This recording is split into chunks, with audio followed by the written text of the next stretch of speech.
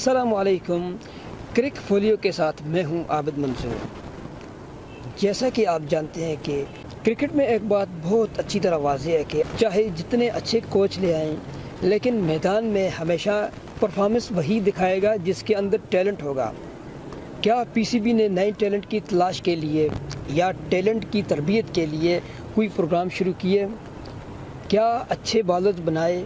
کیا اچھے بیٹسمین بنانے کے لیے کوئی ٹیلنٹ ہنٹ پروگرام شروع کیے؟ یقیناً بڑی حد تک اس کا جواب نہیں میں ہوگا۔ پاکستان کرکٹ بورڈ سے اگر ہم پوچھیں، تو وہ کہتے ہیں کہ ہم نے ماضی میں ٹیلنٹ ہنٹ پروگرام شروع کیے۔ National cricket academy N C A N C A یعنی نیشنل کرکٹ اکیڈمی بنانے کا بنیادی مقصد یہ تھا کہ کھلاڑیوں کی تربیت کریں، اس میں کھلاڑیوں کو ٹریننگ دیں اور وہاں پہ آ کر وہ اپنے آپ کو مینٹین کریں، اپنی پرفارمنس کو بہتر کریں۔ لیکن نتیجہ کیا ہے؟ ٹیم میں اچھے بالر نہیں ہیں وننگ پلیئر نہ ہونے کی صورت میں آپ کے سامنے ہے۔ پھر کہیں نہ کہیں سسٹم میں خرابی ضرور ہے، جو اچھا ٹیلنٹ بننے سے روک رہی ہے۔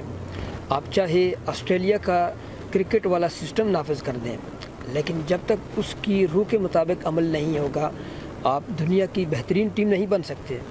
کارکردگی میں تسلسل کا فقدان نظر آ رہا ہے۔ پلیئرز اچھا پرفارم نہیں کر رہے۔ اس کی بنیادی وجہ سسٹم میں ضرور خرابی ہے۔ کرکٹ ماہرین کے مطابق جب کھلاڑی میدان میں پرفارم ہی نہیں کر رہا، تو اتنے اچھے کوچ رکھنے یا کوچز کو ہٹانے سے کوئی فرق نہیں پڑتا۔ کیونکہ جب تک کھلاڑی اپنے ٹیلنٹ کے ساتھ اور بہادری دلیری کے ساتھ میدان میں پرفارم کریں گے تو تب جا کے ٹیم فتح ہوگی۔ اگر وہ اس طرح نہیں کھیلیں گے تو پھر نہیں ہوگا۔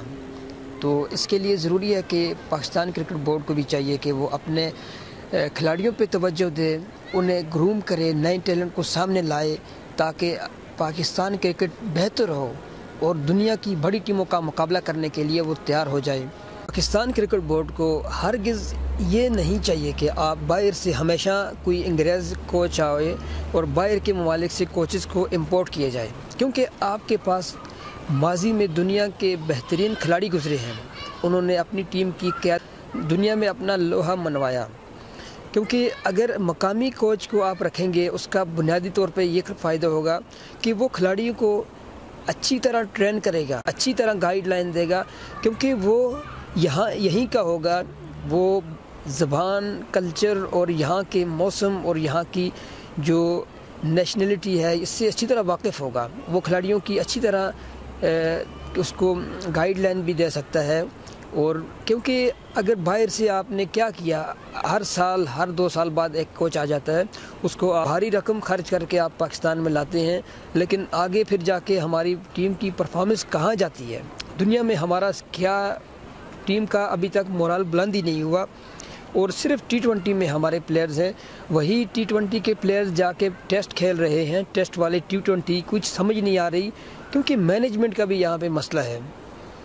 اور جب تک ہماری جو نچلی کرکٹ ہے نا، جب تک نچلی سطح پر کرکٹ کو بہتر نہیں کیا جائے گا اور منتخب کھلاڑیوں کی گرومنگ نہیں کی جائے گی، تو ہماری کرکٹ ہاکی کی طرح تباہ ہو جائے گی، اس کا پھر زوال اسی طرح ہوگا جیسا کہ ہمارے قومی کھیل ہاکی کا ہوا ہے۔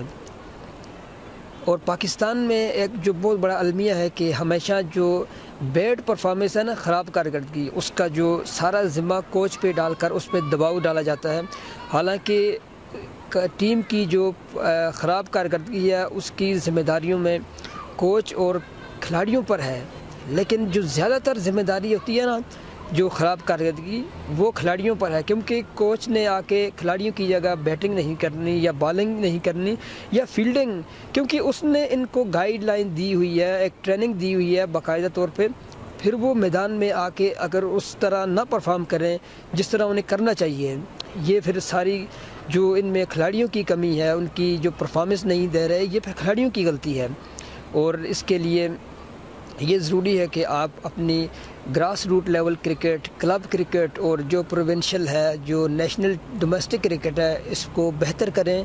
آپ کی یہیں سے آپ کے پلیئر آئیں گے اور آگے ٹیم میں جا کر وہ اچھا پرفارم کریں گے۔ دنیا میں پاکستان کا نام روشن کریں گے، جس طرح ماضی میں عمران خان، انضمام الحق، وسیم اکرم، شعیب اختر اور بڑے بڑے کھلاڑیوں نے شاہد افریدی ہو گئے۔ جس طرح یونس خان، مصباح الحق جیسے کھلاڑیوں نے پاکستان کا نام روشن کیا، اسی طرح نئے ٹیلنٹ کا، نئے ٹیلنٹ سے جو بھی آئیں گے، وہ بھی پاکستان کا نام روشن کریں گے۔ تو آخر میں میں یہی کہنا چاہتا ہوں کہ ہر صوبے میں، ہر یعنی صوبائی سطح پہ یہاں پہ پاکستان کرکٹ ٹیم کی طرف سے نیشنل کرکٹ اکیڈمیاں قائم کی جائیں۔ اسی طرح گلگت بلتستان میں بھی اور ساتھ ساتھ آزاد کشمیر میں بھی، کیونکہ آزاد کشمیر میں بھی بے پناہ ٹیلنٹ ہے۔ اور وہاں پہ پی سی بی کی کوئی اکیڈمی نہیں ہے، جو کہ ایک بدقسمتی کی بات ہے۔ پاکستان کرکٹ ٹیم کے حوالے سے، پاکستان ٹیم کی کارکردگی کے حوالے سے آپ کے پاس کوئی بھی سوال ہو، اسے آپ ضرور کمنٹ باکس میں کیجیے گا۔ اور ہمارے ساتھ رہیے۔ ہم آپ کو کرکٹ پہ تجزیے دیتے رہیں گے اور ساتھ ساتھ آپ آپ کو کرکٹ میچز کے حوالے سے اپڈیٹ بھی ملیں گی۔